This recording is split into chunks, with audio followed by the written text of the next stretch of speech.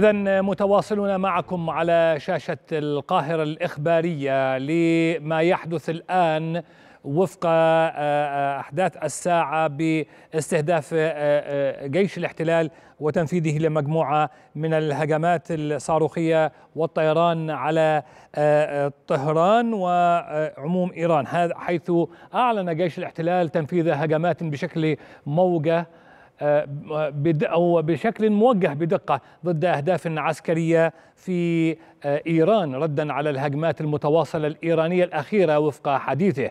وقال جيش الاحتلال إنه على أهبة الاستعداد هجوميا ودفاعيا لمتابعة التطورات من إيران ومن أسماهم وكلائها.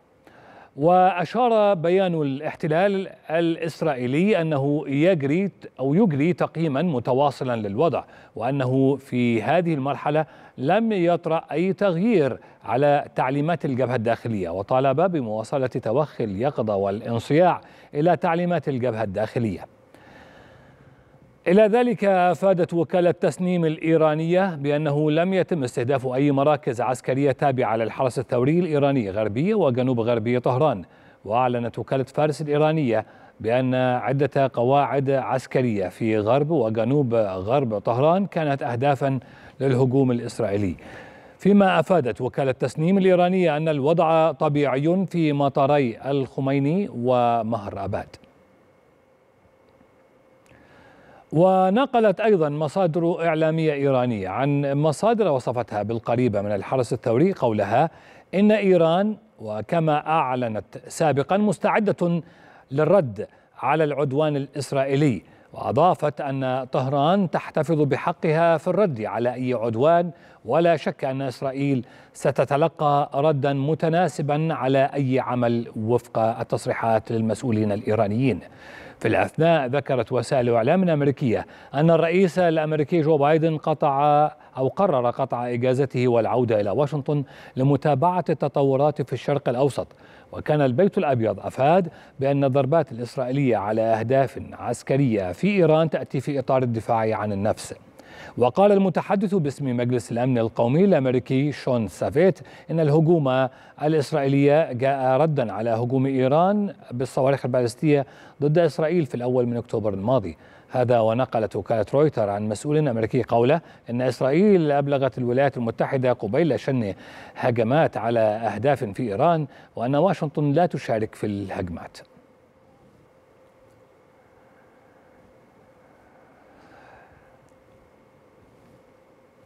للمزيد من المتابعة والتعليق ينضم إلينا من واشنطن السيد ماركو مسعد عضو مجلس الشرق الأوسط للسياسات. سيد ماركو أهلا بك. إذا إسرائيل ردت على الهجوم الإيراني الذي كان في مطلع شهر أكتوبر في الأول من أكتوبر والذي استهدف إيران أو استهدف إسرائيل والمناطق المحتلة بمئتي صاروخ.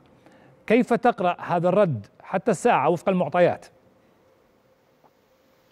تحياتي يا فندم الساده المشاهدين. يعني الرد تأخر حوالي أكثر من 25 يوم ولكن هو أتى وهذا غير شيء غير غير مستبعد. يعني كنا ننتظر الرد الاسرائيلي لكن لأن إسرائيل كان كان من غير المنتظر أو غير المتوقع إن إسرائيل كانت تفتح المعادلة وتتركها مفتوحة بان إيران ردت ضربتها ولكن إسرائيل لم ترد. كان من غير متوقع إسرائيل أن تترك هذه المعادلة مفتوحة. فكان لابد على إسرائيل أن تقفل هذه المعادلة وتقول بأن إيران رد إيران ضربتها ولكنها ردت على هذه الضربة. ولكن من الأخبار المتواردة الآن يعني حتى الآن ليس لدينا صورة كاملة عن ما حدث ولكن توقعي أو تقييمي لما حدث الآن من الأخبار المتداوله سواء في الإعلام الأمريكي أو الإعلام الغربي بشكل عام أو الإعلام العربي لا اجد أي شيء يدعو للقلق. يعني نعم إسرائيل ردت على إيران ولكن هذا أيضا في يعني في في في معادلة الرد الرد والرد المضاد يعني أو التيك فور تاك ما يحدث الآن هو رد من إيران من حوالي 180 ل 200 صاروخ باليستي.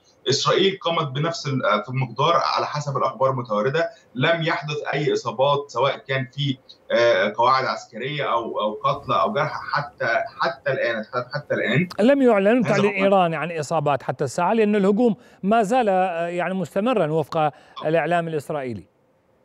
بالطبع. يعني أنا أنا أحلل إلى حد حتى الآن إسرائيل لم لم يعني لم لم يجد هناك أي أخبار تقول إن هناك إصابات بشرية أو قتلى أو جرحى أو حتى إصابات في منشآت عسكرية. أيضا عندما نقارن هذا هذا الرد بالرد الإيراني على إسرائيل نتحدث عن هناك ثلاث مواقع عسكرية في إسرائيل أعلنوا عن إصابات طفيفة في المنشآت في البنية التحتية لمنشآتهم. هذا ما يعني هذا هو المتوقع من الرد الإسرائيلي على إيران لأن إسرائيل لا تريد فتح جبهة شمال فتح جبهة الآن خاصة في جبهة مباشرة مع إيران وحتى تقول بأن إيران إسرائيل هي السبب في فتح توسعة الحرب الشاملة المتوقعة في الشرق الأوسط. ولكن إيران الآن الكرة في ملعبها كما كنا كما كنا نذكر من قبل عندما إسرائيل عندما كانت هاجمت إسرائيل القنصلية الخاصة بها بسوريا الكرة الآن في ملعب إيران ما إذا كانت تريد أن ترد أم لا ولكن في اعتقادي لن ترد على هذه على هذا الضربات ما إذا كان الحجم ما هو نراه حتى الآن ولكن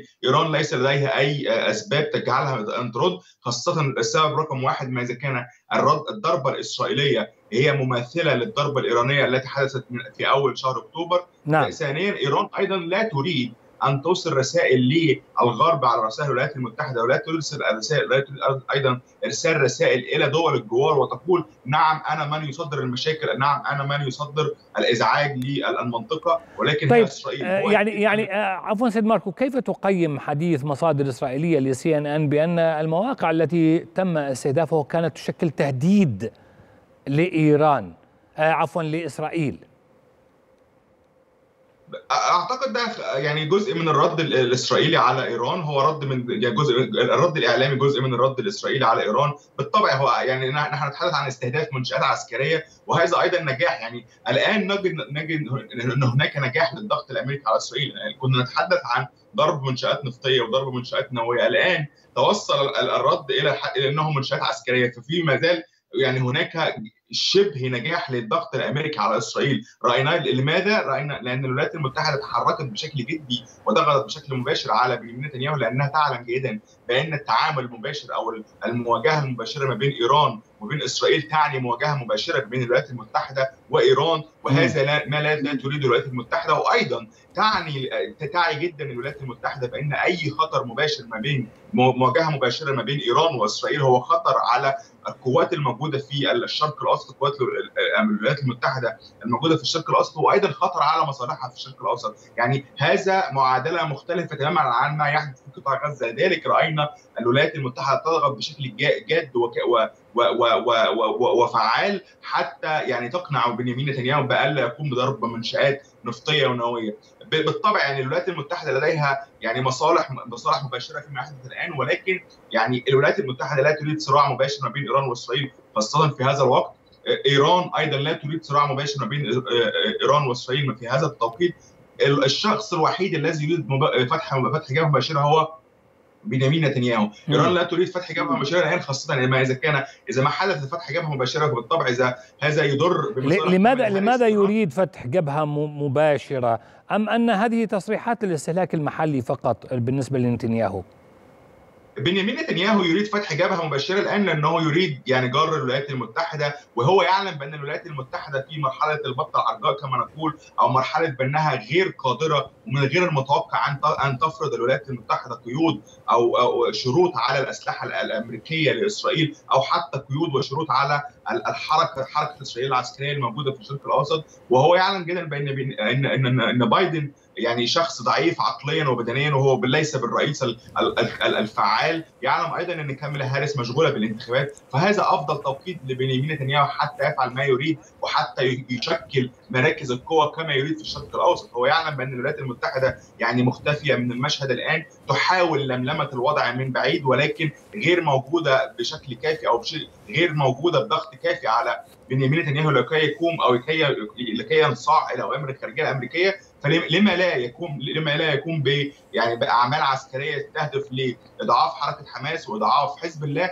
وإضعاف نعم. المصدر وهو إضعاف إيران في المنطقة حتى يقوم بفرض يعني أمور واقعية على أيران واذرعها في المنطقة وأيضا فرض أمور واقعية ما إذا كانت كامل هاريس في البيت الأبيض. هو يريد أيضا بإظهار بان أن ترامب هو الشخص الأمثل لقيادة الولايات المتحدة. لذلك هو يريد إحراج كامل هاريس بشتى الطرق. لذلك رأينا الزيارة الحادية عشر لأنتوني بلينكن نعم. كنت لا أقول عنها كثيرا. لماذا؟ لأنه ما إذا كان بنيامين نتنياهو كان جد فعلا في وقف إطلاق النار أو جد فعلا للاستماع إلى أوامر السياسة الخارجية الأمريكية اللي كان فعل ذلك منذ حوالي خمسة أو ستة أشهر. لم يعني كان ليس من الأقدر إن هو ينتظر حوالي أقل من 10 أيام حتى يستمع لمطالب كاميلا هاريس أو جو بايدن. وبالطبع يعني هذا سوف يسلم كاميلا هاريس يعني كارت قوي جدا أو كارت سياسي كبير جدا تستخدمه في الانتخابات الأمريكية وتقول أنا أنا أوقفت إطلاق النار بعد حوالي عام وشهر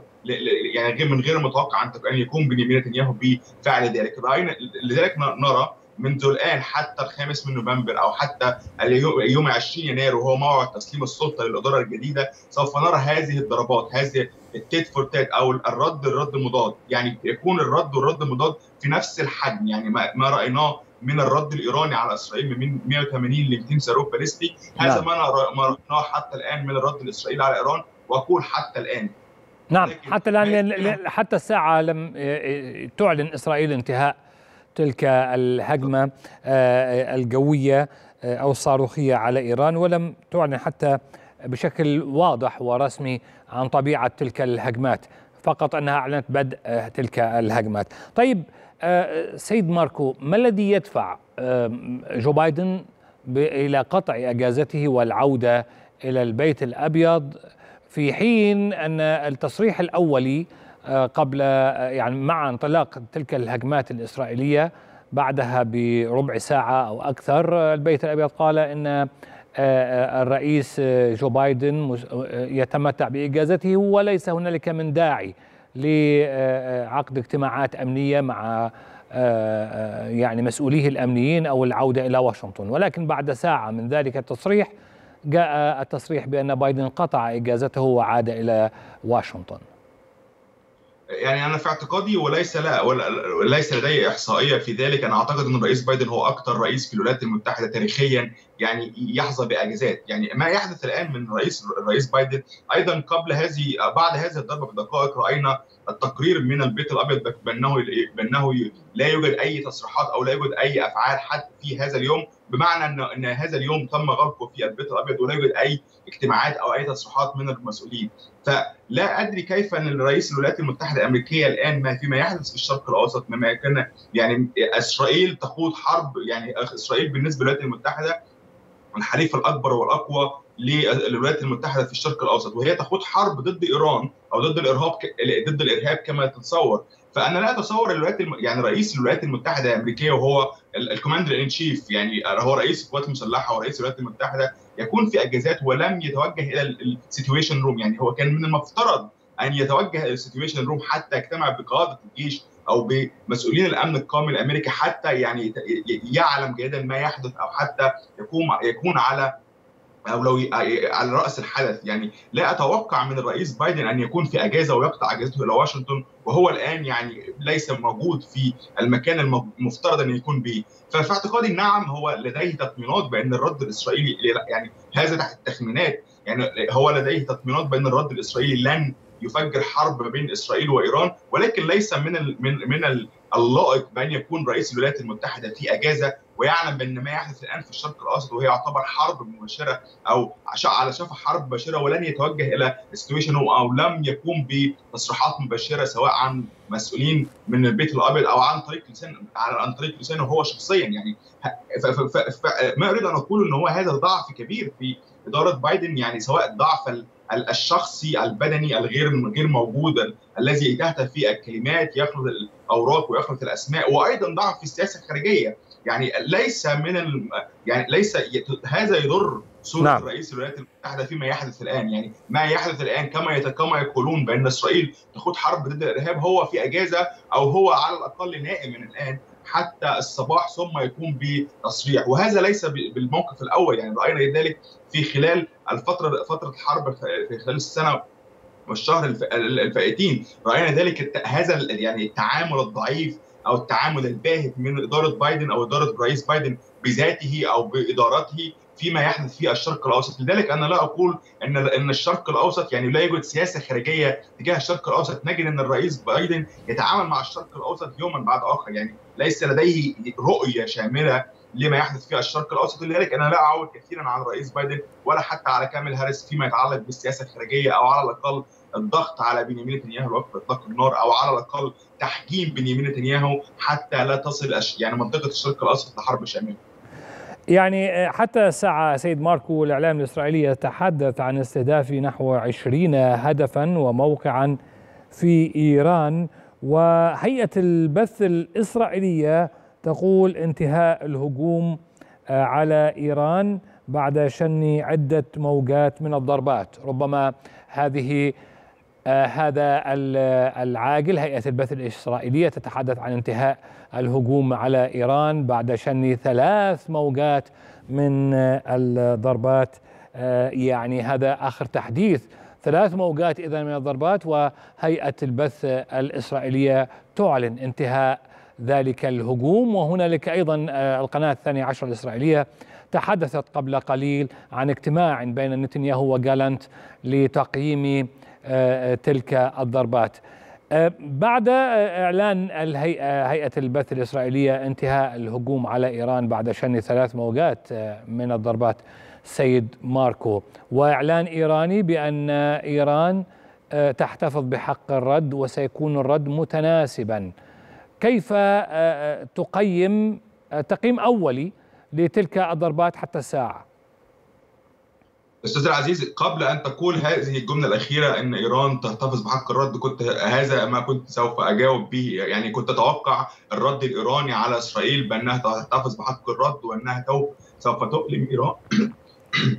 انها سوف تؤلم ايران وسوف تقوم بالعمل اللازم لحماية امنها وسوف توجع الكيان الاسرائيلي، هذا ما يحدث وأيضا عند قراءتك أيضا الاخبار القادمه من هيئة البث الاسرائيلي بأنها تقول إن الرد الاسرائيلي انتهى. كأني أستمع للرد أو لمصادر الإعلام الإيراني وعندما قال أو عندما هاجم إسرائيل في الأول من أكتوبر أيضا كانت هناك نفس البيانات ونفس التسلسل بنفس اللهجة بأننا هاجمنا العديد من المواقع العسكرية وسوف نحتفظ بحق الرد إما إذا كانت إسرائيل تقوم بذلك أم لا. يعني هذا يعني يندرج تحت قائمة هيت فورتات حتى في الإعلام حتى في استخدام الوسائل الإعلام حتى نعم. في البيانات الصحفية لا أجد شيء يعني غريب في اعتقادي يعني يعني دعنا ننتظر حتى الصباح حتى نتأكد من أن هناك ضربه إسرائيلية كبيرة على إيران وقامت بضرب يعني بضربة قاسمة تؤدي إلى حرب شاملة ولكن لا أتوقع ذلك لا أرى أي خط أحمر تم تجاوزه من من إسرائيل حسبما حتى هذه اللحظة أتحدث لا يوجد أي تفاصيل لأن إسرائيل دعنا نتذكر الإمكانيات التكنولوجية الكبيرة جدا لإسرائيل. يعني إسرائيل كانت يعني كانت تعلم جيدا بحجم وتأثير ضرباتها الجوية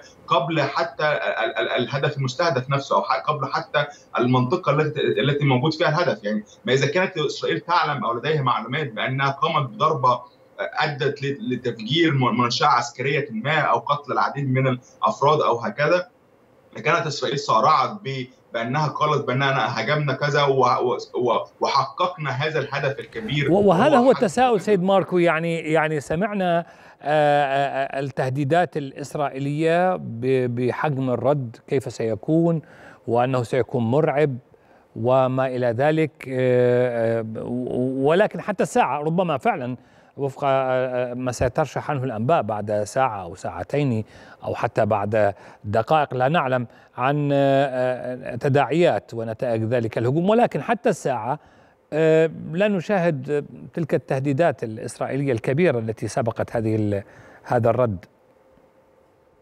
لذلك أنا قلت لحضرتك ان ان الضغط الأمريكي ناجح إلى حد ما الآن لأن رأينا زيارة بلينكن كنا نتوقع إن زيارة بلينكن كانت بسبب وقف إطلاق النار في لبنان أو وقف إطلاق النار في حماس أو على الأقل يعني توجهنا بأن زيارة بلينكن أهدافها كان تسهيل المساعدات الإنسانية بناء على الخطاب الذي دفع به هو وزير الدفاع الأمريكي استن لقاده اسرائيل واعطوهم مهله شهر حتى يقوموا ب يعني اتاحه المساعدات الانسانيه والا سوف يعني يواجهوا بالضغوط أو قيود على الاسلحه الامريكيه هذا يعني هذا ليس من كانت من الاهداف الامريكيه ولكن في اعتقادي الشخصي الان وعندما نتحدث عن الضربه الاسرائيليه الايرانيه ففي اعتقادي الاولويه الاولى لزياره بلينكن الحادية عشر هي الحديث عن الرد الإيراني والرد الإسرائيلي على إيران. فهو في اعتقادي إن الولايات المتحدة أو انتر بلينكن يعني نجح في الزيارة الحادية عشر ليتوصل بأهدافها بعد عشر زيارات. في اعتقادي إن الولايات المتحدة يعني هناك كانت هناك أحاديث دبلوماسية ما بين بلينكن وقادة إسرائيل حتى تم إقناع بنيامين نتنياهو بأن يقوم فعلا. الولايات المتحدة كانت مع الضربة الإسرائيلية على إيران كما ذكرت لحضرتك لا يوجد أي فرصة أو لا يمكن أن نتصور بأن إسرائيل سوف تترك هذه المعادلة مفتوحة بأن إيران ردت ضربت إسرائيل العمق الإسرائيلي وإسرائيل لم ترد هذا يعني ضد موازين القوى الموجودة في الشرق الأوسط وضد ما يتبناه بنيامين نتنياهو. فلذلك الولايات المتحدة كانت دائما مسانده للرد الاسرائيلي على إيران ولكن يكون الرد فيه لحفظ ماء الوجه ولكي يكون لكي يقولوا لإيران بان يعني إسرائيل جاهزة ومستعدة للرد على أي تجاوزات إيرانية ومن الممكن أن تصل إلى العديد من النقاط. ورأينا هذه العنترية العسكرية من إسرائيل بضرب العديد من المناطق داخل إيران وأيضا في سوريا ورأينا في فتح جبهه موجودة في لبنان فتح جبهه موجودة في حماس. فهذه أيضا رسائل عسكرية تريدها إسرائيل توصيلها إلى إيران بانها من الممكن أن تفتح الجبهات كلها من دون خسارة أي شيء. فهذا ما يريده بنيامين نتنياهو مع الضغط الأمريكي على إسرائيل. هل هل هنالك من فكرة لديك سيد ماركو عن يعني كان هناك تصريح اليوم لممثل إسرائيل في الأمم المتحدة بأن قال حان الوقت لإنهاء تخفي إيران خلف وكلائها في الشرق الأوسط. فهل لديك فكرة عن طبيعة السيناريو الذي تريد أن تلعبه إسرائيل في المرحلة المقبلة؟ يعني بعد بعد كما يقولون كسر شوكة حزب الله. بعد اغتيال قادته وبالتالي أصبحت المواجهة مباشرة مع إيران وكذلك تقليم وفق الرؤية التحليلية تقليم أظافر إيران باغتيال وكلائها في المنطقة. فكيف كيف سيكون السيناريو المتوقع لتعامل إسرائيل مع وكلاء طهران كما تقول أو تسميهم إن كان في سوريا والعراق. يعني بنيامين نتنياهو هو يريد تقليم اظافر فعلا ازرع إيران في المنطقة واكبرها هو حزب الله لذلك راينا هذه الحرب الكبيرة جدا. يعني يوما بعد آخر في خلال أسبوع أو 10 أيام فرغ حزب الله من قيادات الصف الأول والصف الثاني. راينا هذه أجهزة تفجيرات أجهزة البيجر واللاسلكي الاختراق الامن الكبير لقيادات حزب الله ومعرفة معلومات مهمة جدا عن القادة الخاصين به وإذا ما إذا كانوا فعلا موجودين في أعماق تحت الأرض أم لا. ففي اعتقادي إن إسرائيل اخترقت حزب الله بالشكل الكافي وحزب الله هو أكبر اذرع إيران في المنطقة. رأينا أيضا الضربات العسكرية المؤلمة أيضا لأزرع حلف أزرع إيران في المنطقة ليس حماس ليس فقط حماس ونتحدث أيضا عن المجموعات الموجودة في العراق وسوريا. ففي أيضا يعني وأيضا يعني عندما نتذكر إسرائيل ضربت أهداف في اليمن في على بعد كبير جدا من إسرائيل. وأيضا خبر تم كان في من خلال أسبوعين بأن إن إن الولايات المتحدة ضربت أهداف في اليمن بقاذفه صواريخ اللي هي B 2 وهي أيضا رسالة يعني رسالة لايران نفسها بان هذه هذه قاذفه الطائرات ال B 2 خاصة هي من الممكن أن تشن هجمات على على على مدى طويل جدا أو من الممكن أن تطير إلى مسافات طويلة ومن الممكن أن تقذف قاذفات حتى تصل تحت الأعماق كبيرة تحت الأرض. فهذه أيضا يعني هذا الخبر القليل جدا حتى ما إذا كان لم يكون باستهداف أماكن كبيرة في اليمن ولكن هو أيضا رسائل سياسية وعسكرية ضد إيران واذرعها في المنطقة. فاذا كان إيران يعني تحتفظ ب جزء من برنامجها النووي داخل الجبال أو تحت أعماق الأرض فمن الممكن أن تصل إليها الولايات المتحدة بشكل سهل جدا وبشكل مبسط، هذه هي الرسائل التي تريدها توصيلها إلى الولايات المتحدة، ولكن إسرائيل تريد جر الولايات المتحدة حتى تقوم بضرب البرنامج النووي الإيراني وهذا ما لا يحدث لن يحدث قريبا في اعتقادي، ولكن بنيامين نتنياهو هو بيحاول على قد على على قد ما يقدر إن هو يحاول أن يعني يضعف قدرات حزب الله يضعف قدرات حماس يضعف قدرات المجموعات العسكرية الموجودة في الشرق الأوسط وهذا مكسب استراتيجي أمريكي يعني هذا هو ما يقوم به هو نيابة عن الولايات المتحدة الأمريكية لذلك نعم. نرى إن الولايات المتحدة مستمرة في الدعم العسكري لماذا؟ لأنها حرب بالوكاله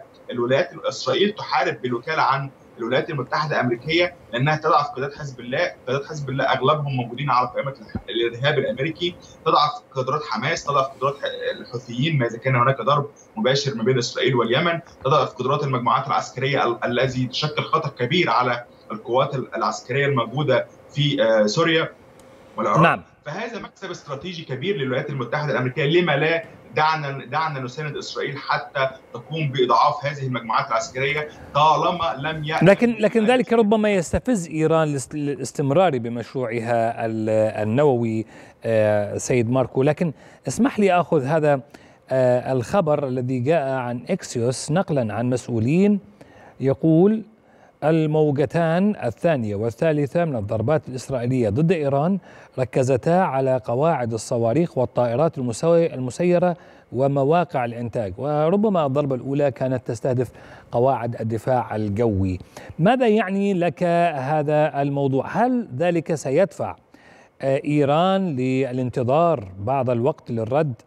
آه، وهل هذا سيفتح شهية إسرائيل للمزيد من العمليات إن كانت الجوية أو آه، استهداف القواعد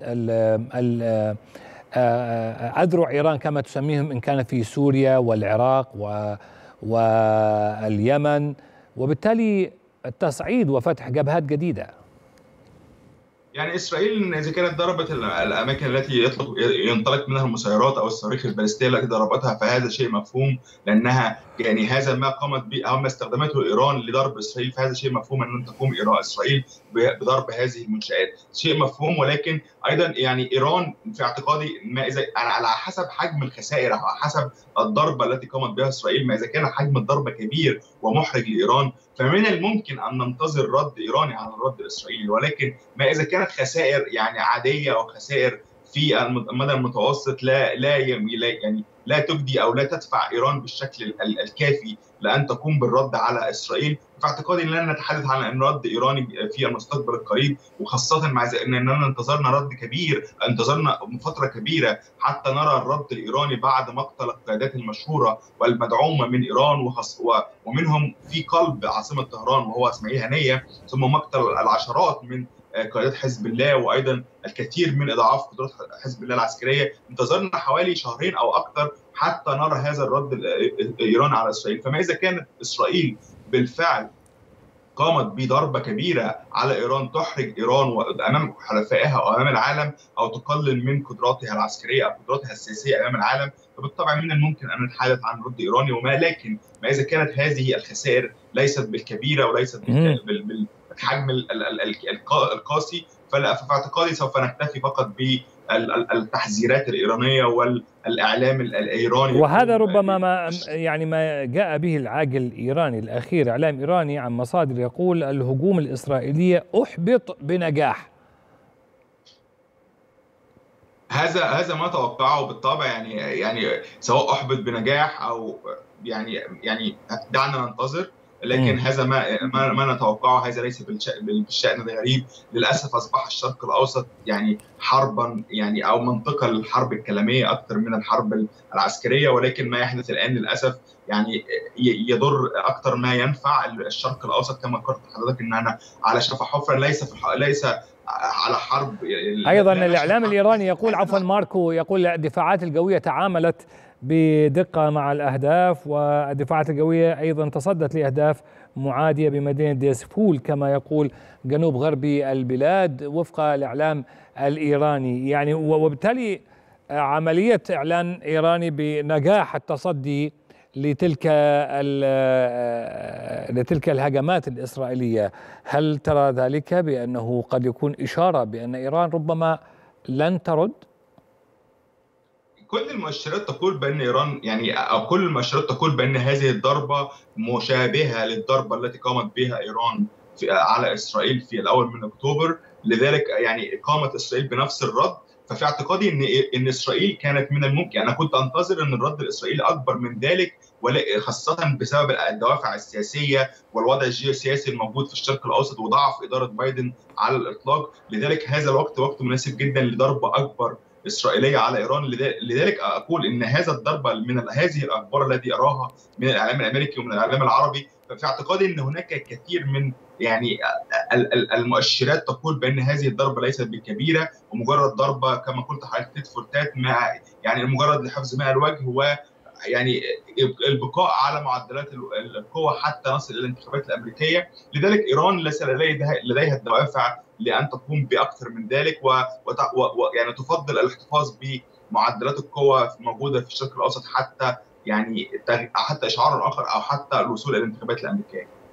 طيب سيد ماركو بالحديث عن الانتخابات الأمريكية وكذلك واقع واقع الولايات المتحدة وتفاعلها في الشرق الأوسط ما مدى تأثير إرسال واشنطن الآن إلى يعني الطائرات المقاتلة F 16 وكذلك F 35 ومنظومات ثاد وفتحها على على سير عمليات الرد والرد المقابل باستخدام كلا الرئيسين أو كلا المرشحين للرئاسة الأمريكية. فكرة الدفاع عن إسرائيل و وامن إسرائيل على الناخب الأمريكي. بالطبع الولايات المتحدة هي يعني لا يمكن أن نتصور بأن الولايات المتحدة ممكن أن تتأخر عن الدفاع عن إسرائيل حتى لو كان هناك معلومات استخباراتية بحجم الرد الإسرائيلي على إيران أو حجم الرد الإيراني على إسرائيل. فمن من الأقدر يعني ومن المنتظر أن تقوم الولايات المتحدة بعمل الاستعدادات اللازمة حتى تقوم ب يعني صد أي هجمة هنا من هنا أو من هناك سواء من اذرع إيران في المنطقة أو من إيران نفسها. فهو لا يمكن أن نتصور أن الولايات المتحدة تتخلى عن الولايات عن إسرائيل في هذا التوقيت. لذلك الولايات المتحدة تقوم بما بما يلزم حتى تكون مستعدة على على أتم الاستعداد في هذا الوقت بالتحديد في هذه العشوائية الموجودة في الشرق الأوسط الآن. أيضا نتحدث عن يعني إرسال واشنطن المنظومات الصاروخية وهكذا. أيضا الولايات المتحدة لديها التزام كبير للحفاظ على جنودها الموجودين. نتحدث عن هناك جنود الآن القادمين مع منظومة تاد. هناك جنود موجودين في العديد من الدول التي من الممكن هناك خطر عليهم في الشرق الأوسط لذلك الولايات المتحدة لا يمكن أن تفرط في نعم. أو لا يمكن أن تفرط في حياة خطر على حياة جنودها لذلك نرى هذا الاستعداد الأمريكي الكبير جدا على أتم الاستعداد حتى لو كان هناك لا يوجد هناك ما يدعو للحذر أو لا يدعو للخوف من من من من نشوب حرب مباشرة ما بين إيران وإسرائيل. نعم الآن الجيش الايراني جيش عفوا جيش الاحتلال الإسرائيلي يتحدث عن انتهاء الهجوم وفق العواقل التي تظهر على شاشتنا انتهاء الهجوم الإسرائيلي على أهداف عسكرية دقيقة كما قال الهجوم الدقيق على أهداف عسكرية داخل إيران ونيويورك تايمز تتحدث عن نحو 20 هدفا تم مهاجمتهم من قبل الهجوم الإسرائيلي. قواتنا أكملت توجيه ضربات دقيقة على أهداف عسكرية في إيران جيش وفق جيش الاحتلال. وكذلك هنالك حديث عن تقييم أولي لهذه الهجمات. ويقول أيضا جيش الاحتلال أن طائراتنا عادت إلى قواعدها بعد تنفيذ الهجوم على إيران. بعد حديث عن انتظار أو عن استمرار هذه العملية لأكثر من أو لعدة ساعات أو لليلة كاملة لكن يبدو أن الهجوم لم يستمر سوى سويعات قليلة ثلاث ساعات أو أو أقل. التقييم الأولي لهذا الهجوم سيد ماركو.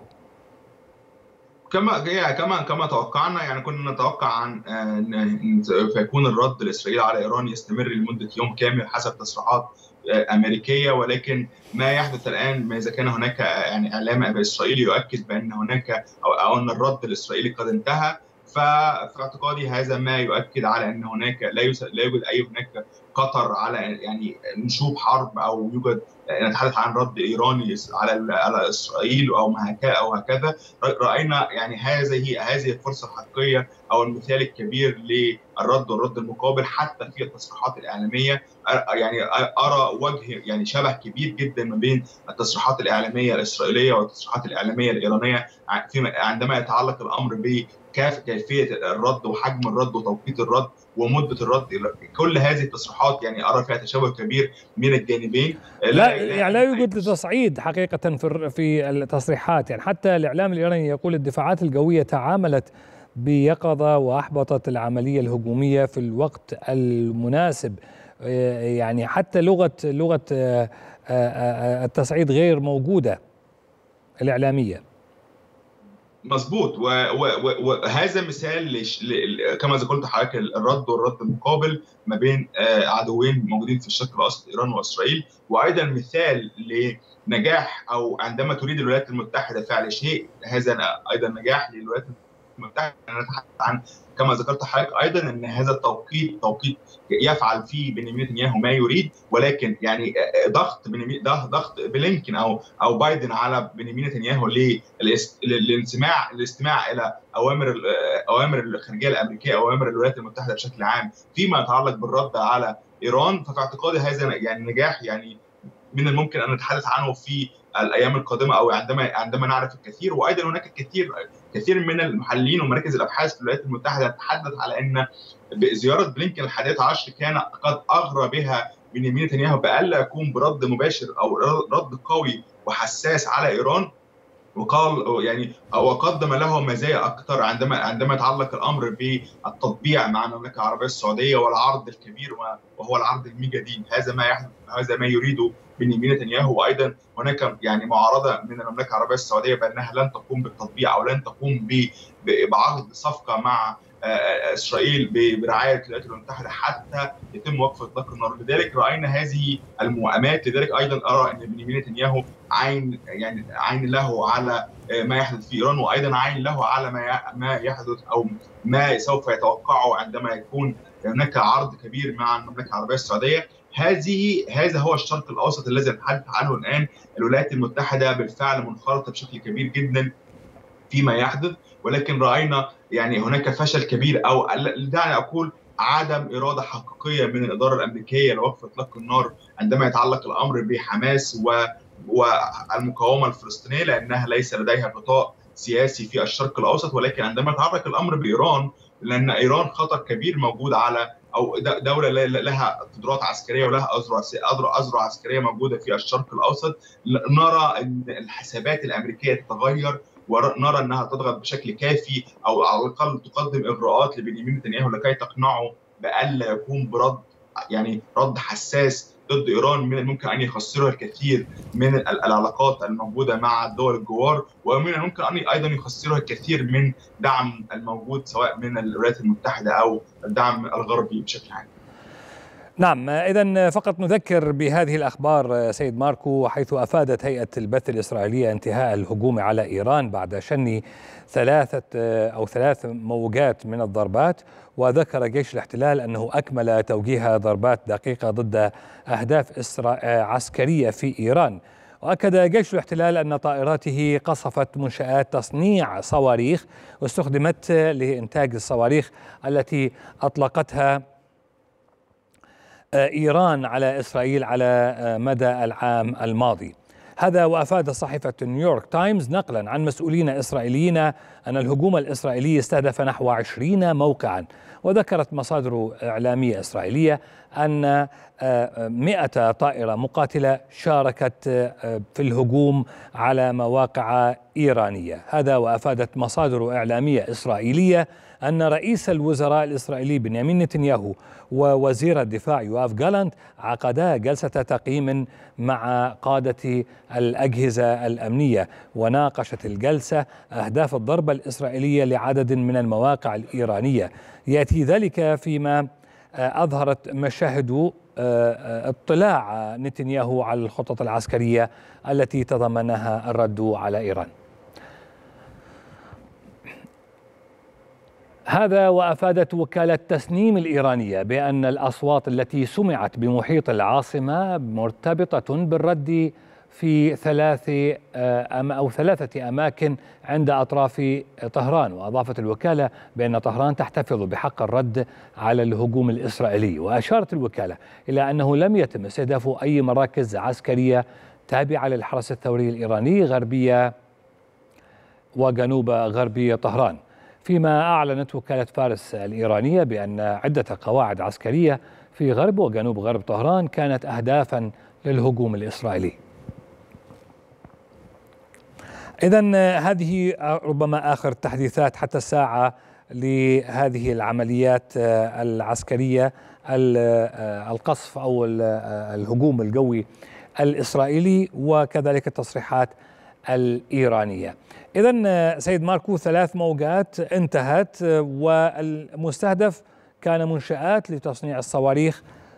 كما تقول إسرائيل تصنيع الصواريخ التي أطلقتها إيران على إسرائيل على مدى العام الماضي. هل تعتقد أن قصف منشآت الصواريخ وفق جيش الاحتلال الآن سيعرقل أو سيؤخر من عمليات رد مرتقبة إيرانية؟ نعم يعني أنا يعني هو رد رد عسكري متوقع رد عسكري على الرد العسكري أو الرد الإيراني الإسرائيلي في أول من أكتوبر على نفس الحجم ونفس المقدار لذلك لا يوجد أي يعني هنالك التزام بقواعد الاشتباك بين الطرفين؟ هذا ما أريد أن أقوله هذا يعني هذا هو يعني نو نو يعني ما فيش لا يوجد أي ضرر من الطرفين يعني هذا رد ورد مقابل انتهت القصة. هذا ما يعني كما تحدثت حضرتك هذه الأخبار العاجلة والتقارير هذا يعني بناء على التقارير هذه التقارير ما إذا كان هناك يعني أخبار لا نعرفها حتى الصباح حتى يعني خلال هذه الساعات القادمة من الممكن أن نتحدث عن شيء آخر؟ ولكن في اعتقادي ما إذا كان هناك شيء آخر كانت إسرائيل صارعت ب بإرسال هذه الأخبار إلى العالم بإظهار القدرات العسكرية الإسرائيلية بأنها قامت بتفجير منشآت كبيرة وحيوية وما هكذا لكن لم هذا ليس ما رأيناه من إسرائيل. لذلك أنا يعني لذلك أنا يعني أثق في قراري أو تحليلي من ما يحدث الآن هو مجرد يعني يعني تقدير لقواعد الاشتباك أو لا يوجد هناك أي نية سواء من إسرائيل أو من, من إيران في التصعيد أو التصعيد المباشر أو فتح جبهة مباشرة مع الولايات المتحدة الأمريكية. ما يحدث الآن للأسف هو يعني الولايات المتحدة مشغولة جدا بما يحدث الآن في الشرق الأوسط، الولايات المتحدة سواء الإعلام الأمريكي أو سواء المسؤولين الأمريكيين منشغلين تماما بما يحدث في الانتخابات الأمريكية. ترامب كاميلا هاريس بايدن موجود في يقضي اجازته كما نعرف جيدا. كل كل أسبوع ترامب وكاميلا هاريس يتنافسون في السواق الانتخابي. الناخب الأمريكي يعتمد فقط على ما يؤثر على جيبه الاقتصادي ما هذه موضوعات الهجرة موضوعات فتح الحدود. لذلك ترى إن يعني هذا الخبر الموجود الآن الذي تلقفناه بشكل مباشر بما يحدث الرد الإسرائيلي المنتظر الكبير على إيران. نعم. يعني هذا هذا الخبر تم تم يعني تخطيطه بشكل مباشر وبشكل سريع ما يعني خبر ضرب إسرائيل إلى إيران في الإعلام الأمريكي ولكن لم يكترثوا إلى هذا الخبر سواء بسبب إنهم لديهم معلومات بأن هذا الخبر يعني أو هذه الضربة ضربة صغيرة الحجم لن تقوم بتأثير ولكن السبب الأكبر هم انشغالهم بالانتخابات الأمريكية في الولايات المتحدة بشكل عام سواء في سواء الناخبين الأمريكيين سواء الإعلام الأمريكي مراكز الأبحاث المسؤولين الأمريكيين كلهم مشغولين بالانتخابات. نتحدث على أن اليوم 25 من من أكتوبر أقل من 10 أيام حتى نعم. الانتخابات. هناك انقسام واستقطاب موجود في الداخل الأمريكي لذلك لا يوجد أي اهتمام إعلامي سياسي شعبي بما يحدث في الشرق الأوسط. نعم سيد ماركو. يعني كما كما نعرف من هذه التقارير أو هذه الأخبار ليس بالشكل الكبير الذي يستوعب أو يستوجب اهتمام إعلامي أو سياسي كبير من الولايات المتحدة. نعم من واشنطن سيد ماركو مسعد عضو مجلس الشرق الأوسط للسياسات. شكرا جزيلا لك لوجودك معنا في تغطية تداعيات الهجمة الإسرائيلية على إيران. شكرا جزيلا لك. ينضم إلينا من القاهرة أيضا من استديوهاتنا في القاهرة الدكتور محمد محسن أبو النور خبير السياسات الدولية والمختص في الشؤون الإيرانية. دكتور محمد صباح الخير. إسرائيل تتحدث عن أنها إذا بدأت إيران بجولة جديدة من التصعيد فسوف نكون ملزمين بالرد. وإيران صرحت بأنها قد تعاملت بيقظة آه، مع آه، الهجوم الإسرائيلية وأن الهجوم قد أحبط. كيف تقرأ هذه التصريحات؟ هذا التناغم في لغة التصريحات وعدم التصعيد اعلاميا على الأقل. نعم. آه، صباح الخير على حضرتك وعلى. السادة المشاهدين. في الساعات القليلة الماضية كان هناك يعني شبه تحليل للخطاب الإعلامي من الجانبين الجانب الإسرائيلي والإعلام الإيراني. هناك حالة من حالات التهويل في إسرائيل والتهوين آه، في, في طهران نعم. في إيران. بمعنى أن الإعلام الإسرائيلي يقول إنه نفذ المهام بنجاح وإنه كان وإنه كان ملزما بالرد على الوعد الصادق الثانية وكلام من هذا القبيل. لكن ب يعني اطلاع سريع على كل وسائل الإعلام الرسمية الإيرانية الناطقه بالفارسية آه، قبل قليل على المنصات الرسمية على تليجرام مثلا بحكم أن آه، تطبيق تليجرام هو أهم تطبيق تستخدمه إيران داخليا. على المستوى الرسمي فيما يتعلق بالأخبار هناك حالة من حالات التهوين والكاميرات مفتوحة على المدن التي ضربت في هذه الضربة الإسرائيلية ويقولون إن الناس يسيرون في الشوارع عادي جدا بحكم طبعا فارق التوقيت ما بين إسرائيل وإيران تقريبا نحن أمام نصف ساعة في التوقيت الصباحي ما بين نعم. إيران وإسرائيل اذا هناك حالة مجمل المشهد حتى الآن أن هناك حالة من التهويل آه، وال يعني النجاح من وجهة نظر إسرائيل والتهوين والنجاح أيضا من وجهة نظر آه، آه، إيران التي تصدت دفاعاتها الجوية لهذه الهجمات الإسرائيلية. نعم، يعني عملية التهوين وفي ظل حديث إسرائيلي عن استهداف لمصانع التصنيع للصواريخ البالستية ووفق قراءتك وتخصصك الاعتباري بالشان الإيراني هل ترى ذلك سيؤثر على آه، على طبيعة المواجهة بين الطرفين؟ هو طبعا طبيعة المواجهة بين الطرفين طبيعة معقدة جدا وفيما مضى يعني كنت هنا في هذه المنصة وقلت بكل بساطة إن الرد الإسرائيلي على إيران هو رد حتمي لماذا؟ لأن إيران عندما قامت بالوعد الصادق الأولى والثانية لم تكن فقط تضرب إسرائيل لكنها كانت تتحدى التكنولوجيا الأمريكية في السلاح السلاح الإسرائيلي هو سلاح يتعلق بالتكنولوجيا الأمريكية والبنتاجون لم يكن له ليقبل أن تتفوق تكنولوجيا أخرى على سلاحه الموجود مع إسرائيل. لذلك سارع وبادر ونصب منظومات ساد المتطورة جدا لصد أي هجوم إيراني على أو أو ردا من إيران على أي عملية إسرائيلية. هذا طبعا كان بشكل استباقي. لكن هل إيران هنا وهو سؤال حضرتك سؤال في منتهى الأهمية هل هذه العملية الإسرائيلية ستغير من موازين الردع بين الطرفين؟ الإجابة لا. ورايي الشخصي رأيي الشخصي أن إيران تجهز الآن لعملية الوعد الصادق الثالثة. وأن هذه العملية هي عملية حتمية من وجهة نظري الشخصية. لماذا؟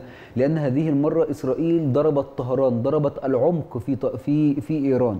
وبمناسبة ما أعرفه عن إيران أن إيران يمكن لها أن تتسامح لو قامت إسرائيل بضرب أي أهداف في المنطقة الغربية من إيران. لكن أن تذهب مباشرة إلى طهران وتضرب أهداف حتى لو لم يؤدي هذا الهجوم إلى يعني خسائر كبيرة في الأرواح والعتاد وما إلى ذلك لكن ذلك لا غير مقبول في العقلية الاستراتيجية الإيرانية. ضرب طهران بالذات هو شيء يجرح صميم العقلية الاستراتيجية الإيرانية لذلك إيران سترد ردا حتميا من وجهة نظري على هذه العملية آه، الإسرائيلية هذه الليلة. يعني إيه، وفعلا وكالة تسنيم تتحدث عن أن إيران تستعد للرد وسيكون متناسبا كما قالت. استخدام مفردات سيكون متناسبا. لم إيه، يعني لم نسمعها سابقا في الإعلام الإيراني.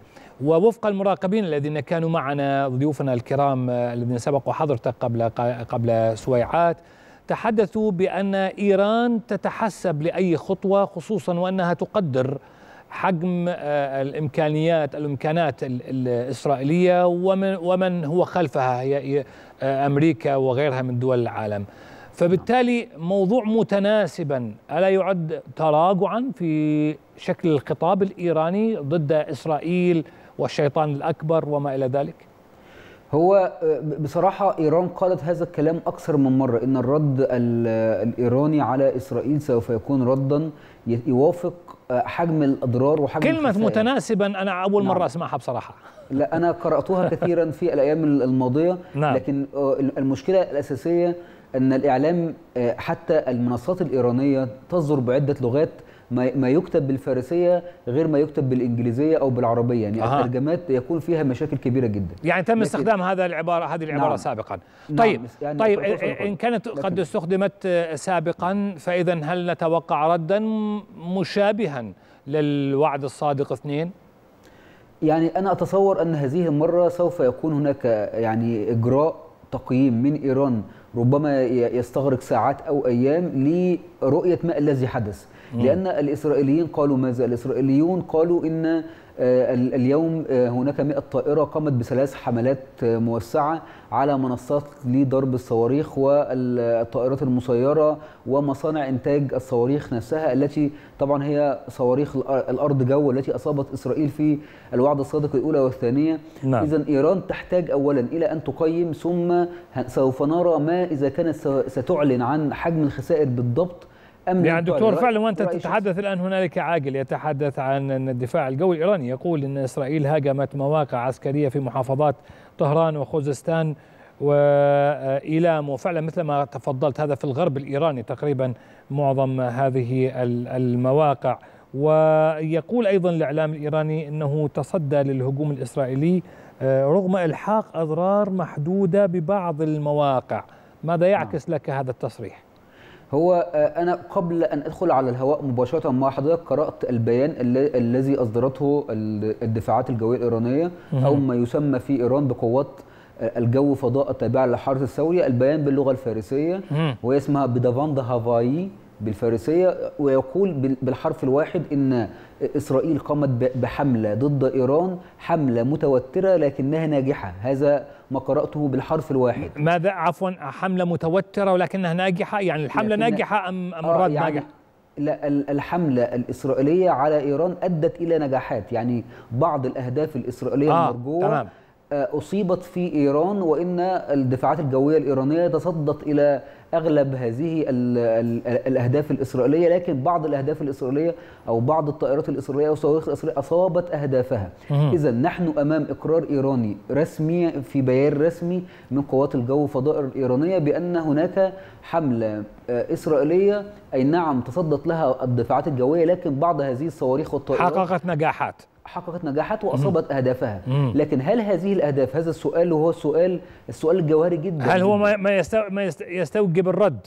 آه هل هذه الأهداف هي في القطاع الغربي في عيلام وفي خوزستان أم هي في طهران؟ رأيي الشخصي أن لو آه، يعني تبينت إيران أن هذه الأهداف الناجحة في طهران فإنها بالتأكيد سوف ترد في عمليات الوعد الصادق الثالثة. لكن لو كانت هذه الأهداف في القطاع الغربي قد تتسامح إيران مع هذه الجولة أو هذه الحملة وتغلق هذه الجولة من الصراع مع ما. السبب ما السبب في التسامح دكتور محمد؟ التسامح حتى لأن إيران لا تريد أن تفجر الأمور في الإقليم بالمناسبه الحرب من مصلحة إسرائيل. والداخل الايراني على مدى الأشهر الأخيرة أنا أتابع يوميا كل ما يصدر في الإعلام الإيراني تقريبا آه، آه، الأصوات الإيرانية في الداخل يقولون أنه لو اندلعت حربا ما بين إيران وإسرائيل فإن الخاسر هو إيران بالتأكيد وإن إيران هي الرابحة. لماذا؟ لا- لا ليس لديها شيء تخسره. إسرائيل دولة عالية على التاريخ بينما إيران هي حقيقة جغرافية في الإقليم. وبالتالي إسرائيل يعني مدعومة بكثافة من آه، الناتو بالكامل من الولايات المتحدة الأمريكية والجميع يتولى الدفاع عن إسرائيل والهجوم نيابة عن إسرائيل. رأينا آه، بريطانيا وأمريكا تقوم بهجمات ضد الحوثيين في اليمن. طبعا نيابة عن إسرائيل آه، رأينا أمريكا وبريطانيا وفرنسا وألمانيا تتصدى للضربات التي آه، تسقط على إسرائيل من إيران ومن غيرها على مدى الأشهر الأخيرة. فبالتالي الجميع في داخل إيران يدرك أن الوضع الاقتصادي الوضع الاجتماعي الوضع العسكري آه، والسياسي لإيران لا يسمح لها بالدخول في حرب م- مطولة مع إسرائيل لأن إسرائيل في هذه الحالة ستكون هي الرابحة. لا سيما وهو أمر في منتهى الأهمية أستاذ آه، أستاذي العزيز آه، أمر في منتهى الأهمية وهو أنه لا يوجد حدود برية مشتركة ما بين نعم. إيران وإسرائيل. قوة إيران أصلا تاريخيا في القوات البرية. تاريخيا قوة إيران معروفة حتى من يدرس الحرب العراقية الإيرانية يدرك أن إيران لديها دوافع أيديولوجية ودوافع تتعلق بالقوة البرية. لا يوجد حدود برية ما بين إيران وإسرائيل فبالتالي أقوى القوة الإيرانية هي غير موجودة في أرض المعركة وهناك تفوق إسرائيلي جوي على إيران فيما يتعلق بالطائرات والتكنولوجيا المتعلقة بهذا الأمر. لذلك لو قامت حرب موسعة ما بين إيران وإسرائيل في الإدراك الإيراني فإن إسرائيل هي الرابحة. هذا في الإدراك الإيراني. هذا ليس رأيي الشخصي. مم. فبالتالي على إيران وفقا للمنظور يعني الغوص في العقلية الاستراتيجية الإيرانية يجب عليها أن لا تقوم بحرب موسعة ضد إسرائيل لا يوجد فيها ميدان بري للحرب. فبالتالي إسرائيل هنا سوف يكون لها الغلبه على المستوى الاقتصادي والعسكري. لذلك إيران ستحاول بقدر ماذا ماذا لو صحت عفوا دكتور آسف المقاطعه ماذا لو صحت الأنباء عن أن وفق البيانات الإسرائيلية أو جيش الاحتلال الآن عندما يتحدث عن أنه قد قيد القوة الصاروخية الإيرانية التي كانت تقيد حرية إسرائيل كما جاء في بيان جيش الاحتلال الأخير الآن. ماذا لو صح هذا الكلام وأن الضربة قد قصمت فعلا ظهر الصواريخ الإيرانية؟ اولا هذا الكلام طبعا لا يصدقه أي طفل صغير. م. لماذا؟ لأن إيران اولا دولة دولة كبيرة جغرافيا. دولة لديها أكثر من عمق استراتيجي. نعم. اولا إيران وإسرائيل تعرف ذلك جيدا في الوعد الصادق الأولى والثانية. قامت بالحملات ضد إسرائيل من 12 موقع في داخل إيران نعم. لو لو كانت إسرائيل هذه المرة ضربت ثلاث مواقع أو ثلاث أماكن في عيلام وخوزستان وطهران فإن هناك تبريز وهناك شيراز وهناك كرمنشاه وسنندج وهناك مواقع كثيرة جدا انطلقت منها هذه الصواريخ الإيرانية تجاه إيران فليس من المنطقي أن تقود. إسرائيل. نعم. عفوا. نعم. ليس من المنطقي أن تقود قدرات إيران التي بنتها في 45 عاما في عملية يعني استغرقت ثلاث ساعات تقريبا. هذا ليس من المنطقي. كما أن أغلب هذه المنصات كما أعلن ايرانيا في الأسابيع الأخيرة هي تحت الأرض بمسافة 300 متر. لا يمكن لسلاح ذري حتى أن يقصف هذه المنصات ويقودها تماما وبالتالي يفقد إيران قدرتها على الرد أو قدرتها على الأمور الحربية المتعلقة بالصواريخ البالستيه. هذا طبعا أمر مستبعد جدا لمن يعرف إيران جغرافيا واستراتيجيا. طيب اذا اذا الرد الإيراني على على هذه الهجمة ليس بمستوى الرد على هجمات سابقة قامت بها إسرائيل ضد إن كانت ضد السفارة أو القنصلية الإيرانية في في سوريا وإن كان حتى على اغتيال القادة والمسؤولين الذين هم أذرع لإيران في المنطقة كما يقال ولا حتى على اغتيال سليماني. يعني عندما عندما تتحدث لغة اللغة الإعلامية الحادة في إيران ضد تلك العمليات غير مشابهة للقوة أو أو الرد الإيراني الآن على تداعيات العملية الإسرائيلية ماذا ماذا يعكس لك ذلك هو اولا يعكس ذلك بكل بساطة أن هذه المرة هي المرة الأولى التي تعلن فيها إسرائيل رسميا عن أنها هي التي استهدفت إيران وهي التي قامت بعمليات ضد إيران. نعم. فهذا ايرانيا طبعا تطور كبير جدا ورفع للسقف وكسر لبعض خطوط التماس ما بين إيران وإسرائيل، لذلك من وجهة نظري التقييم الإيراني المبدئي سوف يكون بحتمية الرد على هذه العملية، لأن إسرائيل أعلنت هو طبعا إسرائيل فيما مضى لم تعلن عندما اغتالت إسماعيل هنيه في قلب طهران عندما اغتالت محسن فخري زادة عندما قامت بتفجيرات كرمان في يناير 2024 كل هذه العمليات كانت اسرائيليا على فكرة حتى بالمناسبة حتى قصف القنصلية الإيرانية في دمشق لم يعلن اسرائيليا صراحة رسميا. لكن هذه المرة إسرائيل تعلن وإسرائيل تضرب قلب الأراضي الإيرانية. وفي الثقافة الاستراتيجية الإيرانية الأراضي الإيرانية هي أراضي اذا اذا بالضرورة أن يكون الإعلان الإيراني أكثر شدة. يعني ما دام هي المرة الأولى التي تعلن بها إسرائيل بأنها ردت أو ضربت إيران أو أنها تضرب إيران نشاهد كما قلت حضرتك في بداية الحديث التهوين الإيراني لهذا الهجوم ولغة الإعلام ليست بالقساوة التي كنا نسمعها سابقا الإيراني. نعم. لماذا؟ مم. لماذا حضرتك؟ هذا السؤال لماذا؟ آه لأسباب يعني ثلاثة أسباب أساسية. اولا الحرب الآن هي حرب هجينة حرب عسكرية وسياسية وإعلامية. ومرشد بالمناسبة أول من امس قال ذلك صراحة نحن أمام حرب جديدة أنواع جديدة من الحرب ليس السلاح هو المتحكم الأول فيها.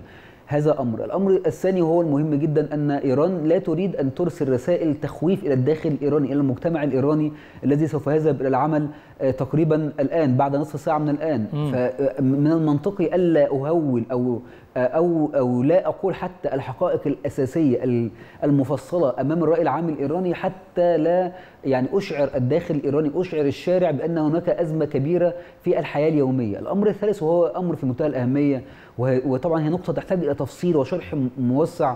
العقلية الإيرانية لا تقبل بجرح الكبرياء الوطني إلى هذا الحد. مم. بمعنى أن أن تقوم إسرائيل بضرب طهران رسميا وتعلن إيران عن نجاح إسرائيل في استهداف بعض الأهداف في قلب طهران هذا أمر غير مسبوق. ومن وجهة نظري الشخصية ليس من مصلحة إيران على المستوى المعنوي حتى أن تقول الحقائق الآن للرأي العام في الساعات القليلة المقبلة حتى تحاول أن تلملم نفسها وتحاول أن تدرس ما الذي يمكن أن تفعله مع إسرائيل لا سيما وأن إسرائيل هذه المرة قامت ب هذه الحملة بطائرات وليس بصواريخ. بمعنى أن هناك كان تحدي من إسرائيل لإيران أنني سوف أقوم بحملة بالطائرات وتعود كل الطائرات مرة أخرى سالمة أمانة إلى قواعدها في في إسرائيل. وهو ما يعني من وجهة نظر إسرائيل أو أمام الرأي العام الداخلي الإيراني فشل إيران في إسقاط حتى طائرة واحدة من هذه الطائرات وبعضها طبعا طائرات شبحية مثل إف 35 وطائرات متقدمة مثل إف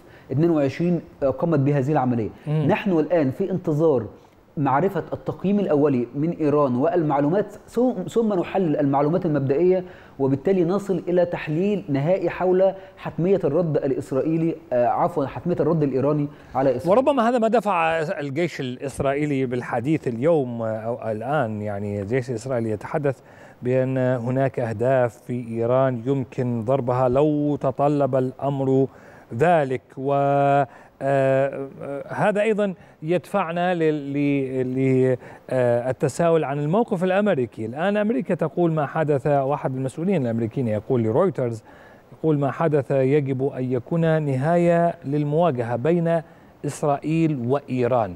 على ما يعتمد هذا الموقف للحديث عن نهاية لهذه المواجهة بين إسرائيل وإيران؟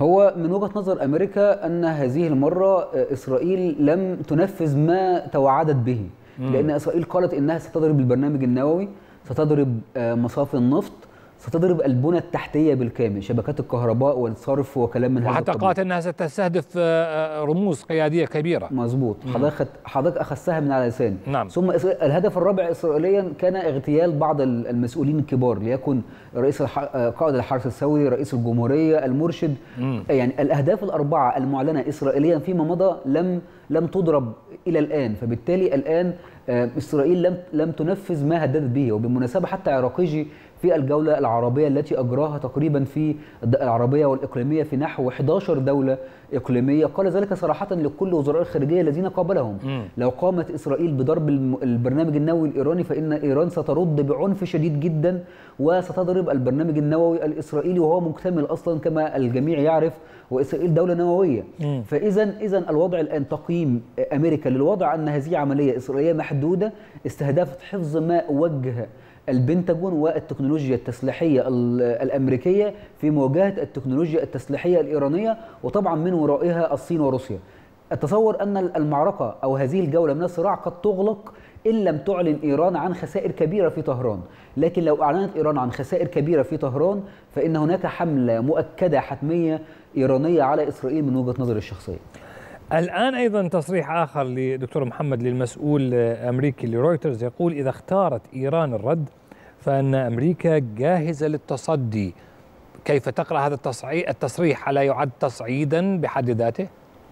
هو ليس تصعيدا لأن أمريكا تصدت في المرات السابقة رسميا ويعني الآن هي نصبت منظومات سد رسميا فبالتالي نعم. عمليات الدفاع ليست تصعيدا لكن الهجوم الأمريكي هو التصعيد من وجهة نظري الشخصية. لكن الآن أمريكا تريد أن تقول بصراحة إن إسرائيل هي إن إيران لا تحارب إسرائيل. إيران تحارب أمريكا رسميا في هذه المرحلة. لكن هل هل أمريكا ستطور موقفها الاستراتيجي من الدفاع عن إسرائيل فقط إلى الهجوم على على إيران. هذا هو التقييم الرسمي. لكن من وجهة نظري الشخصية أن إسرائيل لم يكن لها أن تقوم بهذه العملية الكبيرة على إيران. لا تملك الإمكانيات أصلا أن تقوم بهذه العملية منفردة ما لم يكن هناك دعم حقيقي تنصلت أمريكا من هذا الدعم. يعني قالت إنها غير مشاركة بهذا الموضوع. هي تنصلت طبعا. تنصلت وهذا غير و... هذا غير وارد لأن مم. كل الط...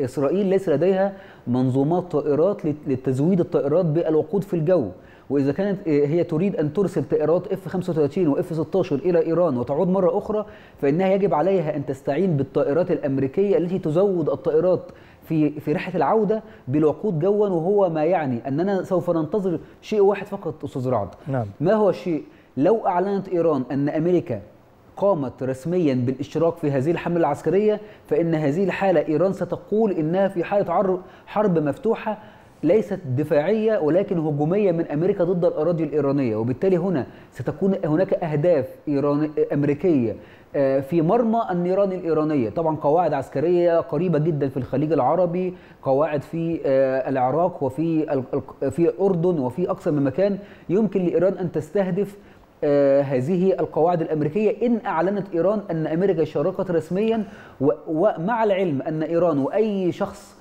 له علاقة بالأمور الاستراتيجية يعرف أن أمريكا من المؤكد أنها شاركت في هذه العملية نعم. على الأقل بدعم الطائرات بالتزود والآن أيضا البيت الأبيض دكتور محمد يتحدث ربما انفتحت شهيه البيت الأبيض للتصريحات.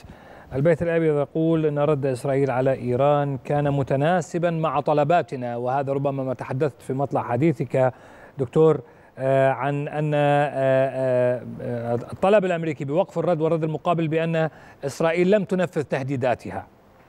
نعم نعم هو طبعا بالتأكيد طبعا لأن أمريكا كانت تريد أن تغلق هذه الجولة من الصراع لكن طبعا هذا في الإعلام فقط. على أرض الواقع أمريكا لم تكن تتسامح مع الوعد الصادق الثانية. مم. لماذا؟ لأن صواريخ هايبرسونيك المتطورة جدا الإيرانية تمكنت من اختراق القبة الحديدية وحيتس ومقلاع داوود ثلاث منظومات أمريكية أصلا ليست إسرائيلية. نعم هي بمسميات إسرائيلية لكنها أمريكية الصنع أساسا.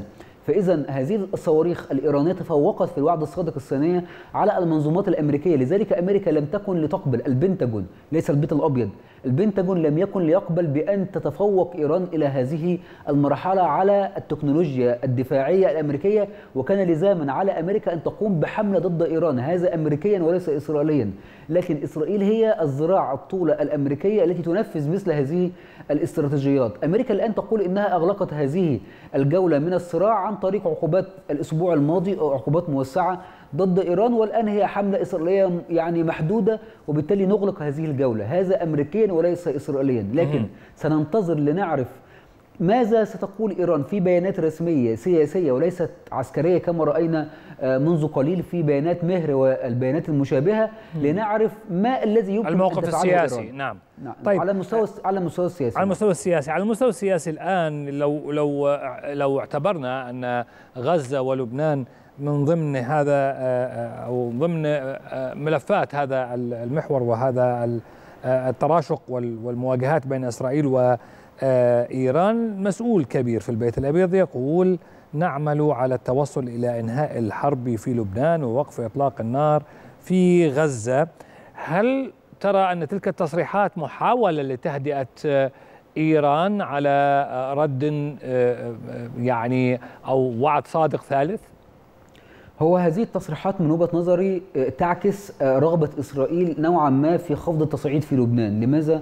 لأن إسرائيل في الساعات الأخيرة تكبدت خسائر هائلة وفق المعلن هناك 10 جنود وضباط ماتوا فقط في آخر 24 ساعة، م. طبعا هذا هو المعلن.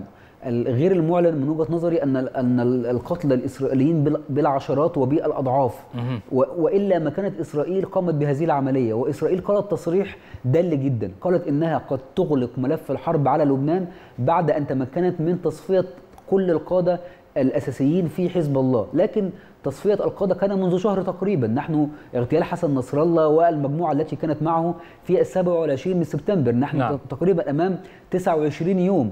لماذا إسرائيل تقول هذا الآن؟ رأيي الشخصي أنها تقول هذا الآن بعد أن تكبدت خسائر هائلة في الجبهة الجنوبية اللبنانية وتمكنت طائرات حزب الله من الوصول إلى بيت نتنياهو في قيصرية. واذا إسرائيل تحاول من خلال هذه العملية أن تغلق هذا الملف أو هذه الجولة من الصراع وتخفض التصعيد حتى لا تقوم إيران كما تفضلت حضرتك بعملية كبيرة ضد إسرائيل تكون مجبرة أمريكا أمامها على الرد مرة أخرى على إيران. طيب وبالحديث عن إيران وبصفتك الاعتبارية كمختص بالشأن الإيراني قال أحد ضيوفي قبل ساعتين من الآن إن إيران قد تعمل على يعني حمل أو دفع برؤوس حربية أكبر من من ذي قبل يعني أكبر من الوعد الصادق اثنين أو واحد في وعد صادق ثلاثة هل هذا متوقع في استخدام الأسلحة فرط الصوتيه؟ في كل الأحوال هناك يعني أنواع جديدة من السلاح سوف تدخل أرض المعركة كما رأينا في الوعد الصادق الثانية هناك صواريخ هايبرسونيك دخلت هناك صاروخ فتاح ويدخل الخدمة للمرة الأولى في هذه العملية. هناك أنواع طائرات مسيرة دخلت أيضا الخدمة للمرة الأولى مثل مثل طائرة مرصاد التي سلمتها إيران إلى حزب الله وقام حزب الله بهذه العملية باستهداف لواء جولاني كما رأينا في حيفا وأصاب العشرات من قوات الاحتلال في حيفا. لكن هل ستدخل إيران صواريخ جديدة أنواع جديدة من التكنولوجيا إلى الوعد الصادق الثالثة هذا يتوقف على الإعلان الإيراني عن حجم الخسائر وعلى الذي فعلته إسرائيل في هذه الليلة الدامية في طهران مم. رأيي الشخصي أن في كل الأحوال هناك أنواع جديدة ستدخل لكن قدر هذه الأنواع كمية هذه الأنواع حجم هذه الأنواع هو الذي سوف يتوقف على التقييم الإيراني النهائي لهذه العملية وهو ما سننتظره على المستوى ليس الحربي فقط ولكن على المستوى السياسي. لماذا؟ لأن العملية الوعد الصادق الثالثة المحتملة. كما تفضلت حضرتك هو قرار سياسي بحت وليس قرارا عسكريا مستقلا من الحرس الثوري الإيراني. أه فقط لنذكر ببعض الأخبار أه دكتور محمد ابقى معنا. نذكر مشاهدينا بما جرى في هذه الليلة. الماضية حيث أعلن جيش الاحتلال أنه أكمل توجيه ضربات دقيقة ضد أهداف عسكرية في إيران وأكد أن طائراته قصفت منشآت لتصنيع صواريخ استخدمت لإنتاج الصواريخ التي أطلقتها إيران على إسرائيل على مدى العام الماضي. وأضاف أن الهجوم على إيران تم بتوجيه من المستوى السياسي ردا على هجمات طهران ضد إسرائيل. يأتي هذا فيما أفادت صحيفة نيويورك تايمز نقلا عن مسؤولين إسرائيليين أن الهجوم الإسرائيلي استهدف نحو 20 موقعا. هذا وأفادت مصادر إعلام إسرائيلية أن رئيس الوزراء الإسرائيلي بنيامين نتنياهو ووزير الدفاع يوآف جالانت عقدا جلسة لتقييم للتقييم مع قادة الأجهزة الأمنية وناقشت الجلسة أهداف الضربة الإسرائيلية لعدد من المواقع الإيرانية. يأتي ذلك فيما أظهرت مشاهد اطلاع نتنياهو على الخطط العسكرية التي تضمنها الرد على إيران. من جانبها قالت إيران إن دفاعاتها الجوية نجحت في رصد العدوان الإسرائيلي والتصدي له على الرغم من الأضرار المحدودة. وأشار الدفاع الجوي الإيراني إلى أن إسرائيل هاجمت مراكز عسكرية في طهران وخوزستان وإيلام.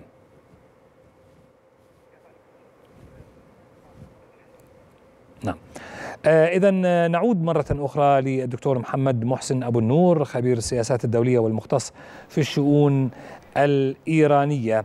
الحديث الآن عن واشنطن مرة أخرى التي تحدثت إذا اختارت الرد فإن واشنطن مستعدة تماما لصد أي هجوم. وما كما قلت في معرض إجابتك السابقة دكتور بأن أصلا واشنطن قد ذهبت لصد الهجوم أو الهجمات السابقة التي كانت ضد إسرائيل. ولكن هل تعتقد وفق القراءة للداخل الإيراني بأن الهجوم المقبل سيستهدف المواقع الأمريكية إن كان في العراق وسوريا خصوصا أن إسرائيل استهدفت بعض الأذرع هناك في هذه الليلة.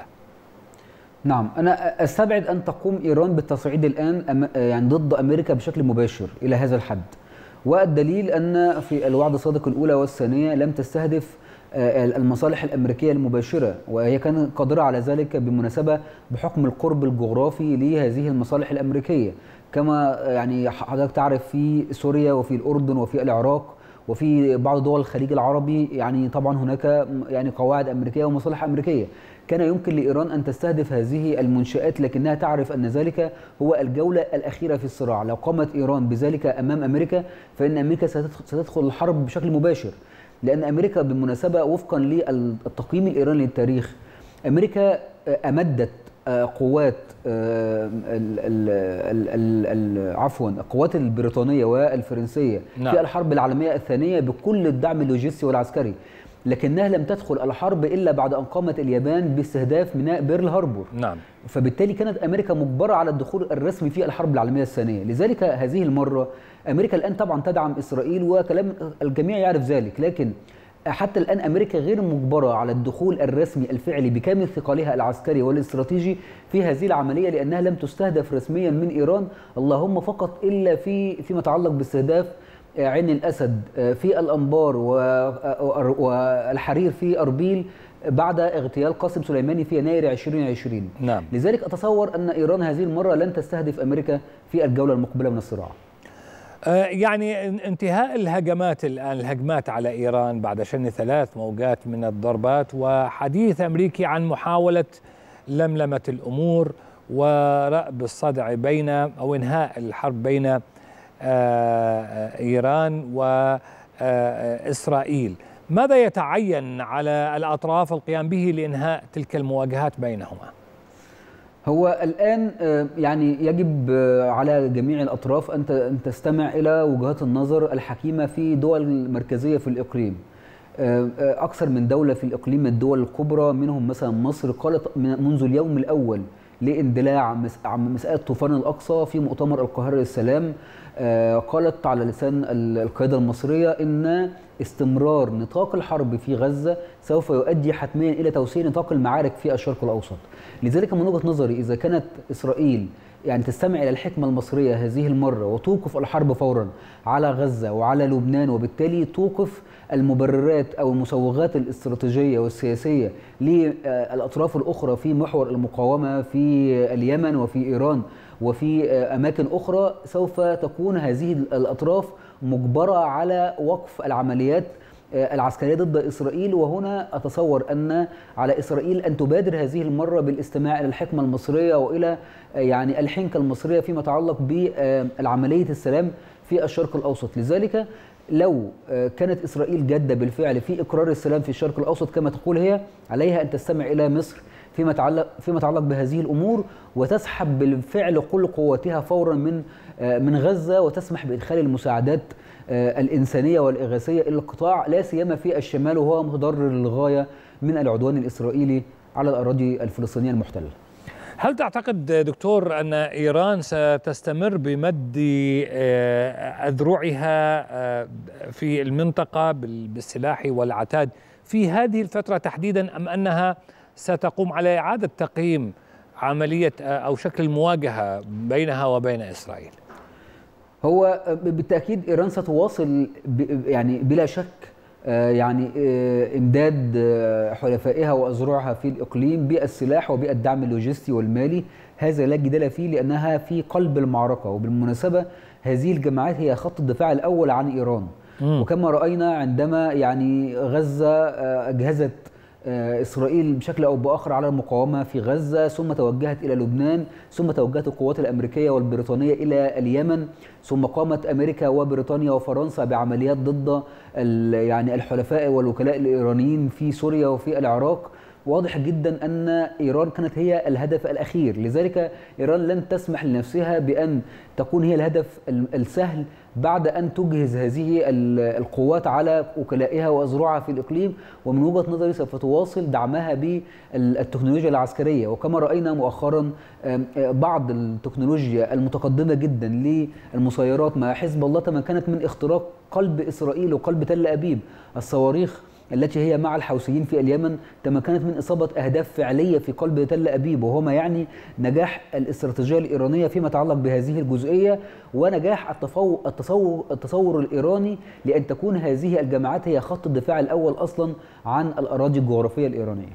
يعني الآن أحد المسؤولين الأمريكيين يقول أنه لديهم قنوات اتصال نعمل عفوا لديهم قنوات اتصال مباشرة وغير مباشرة مع إيران ماذا يعكس لك هذا التصريح الأمريكي في هذه في هذا التوقيت تحديدا دكتور محمد تسمعني؟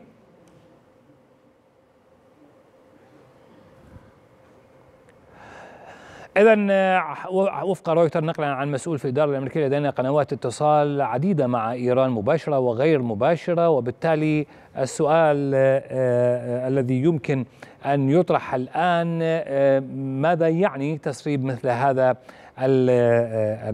الخبر إلى وسائل الإعلام؟ رويترز عندما تتحدث إلى مسؤول أمريكي ويقول إن لديهم قنوات اتصال مباشرة وغير مباشرة.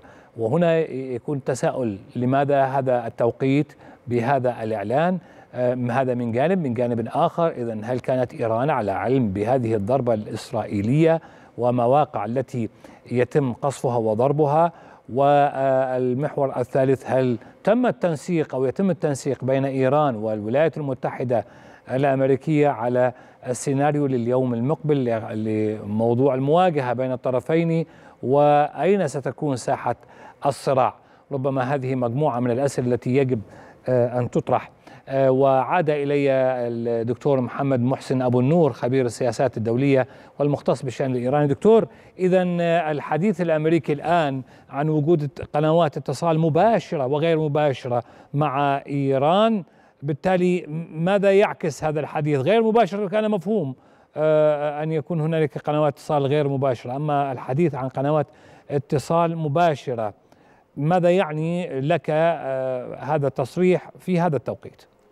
هو قنوات الاتصال غير المباشرة فيما مضى كانت معروفة كانت معروفة. عمان والعراق عربيا نعم. والأردن وفي داخل إيران السفارة السويسرية بحكم أنها قائمة بأعمال السفارة الأمريكية. لكن أن يكون هناك اتصال مباشر من وجهة نظري أن واضح جدا أن أمريكا عينت ضابط اتصال مع إيران للحديث عن هذه الأمور العسكرية حتى يعني تكون الاتصالات مباشرة وبالتالي توفر بعض الوقت فيما يتعلق بإرسال رسائلها إلى المجلس الأعلى للأمن القومي الإيراني وأيضا أتصور أن إيران وافقت على هذه الخطوة الأمريكية أن يكون هناك اتصالا مباشرا لاننا الآن في في ظروف حربية وليس ظروف سياسية ولا دبلوماسية. من وجهة نظري المجلس الأعلى للأمن القومي الإيراني وافق أو يعني تقبل فكرة أن يكون هناك يعني ضابط اتصال مباشر بين أمريكا وإيران للحديث عن هذه الأمور الاستراتيجية لأن القرار العسكري الكبير يتخذ في يعني جزء من من الثانية بالمناسبة نعم. امريكيا وايرانيا فاذا هنا أمريكا تريد أن تقول لإيران إنها يعني تأمل في إغلاق هذه الجولة من الصراع وبالتالي خفض التصعيد نوعا ما في الإقليم يعني لكن السؤال أيضا الذي يمكن أن نسأله اذا هل كانت إيران على علم بموعد الهجوم والأماكن المستهدفة؟ وبالتالي ربما تتكشف أمور كثيرة إن تمت الإجابة على هكذا تساؤلات. هذا السؤال بصراحة يعني أنا عندي إجابة عنه بس لكنها إجابة تحليلية وليست معلوماتية. نعم.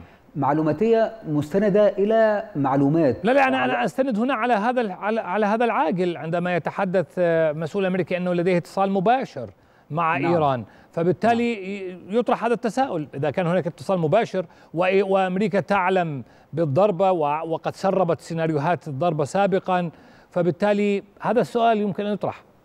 مضبوط. هو هذا بالضبط ما يعني أود وددت أن أقوله لحضرتك. نعم. في مذكرات مذكرات حسين أمين عبد اللهيان صبح شام. الرجل أعلن للمرة الأولى صراحة أن الأمريكان كانوا يبلغونهم بأي عملية ضد المصالح الإيرانية في سوريا وضد سوريا نفسها.